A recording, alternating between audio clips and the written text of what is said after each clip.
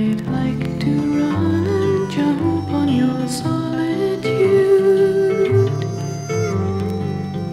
I'd like to rearrange your attitude to me.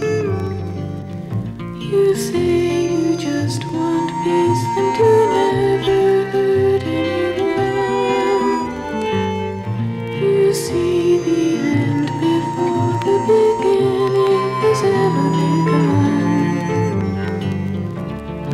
would disturb your easy tranquility. I turn away the sad impossibility